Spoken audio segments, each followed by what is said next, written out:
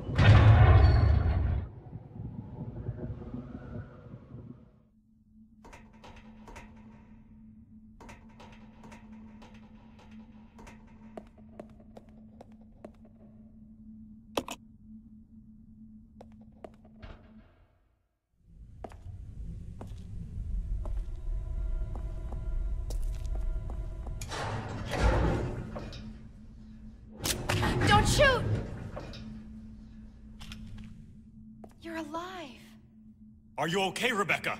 Where is everybody? They should have arrived here before me. Haven't you seen them? That's unfortunate.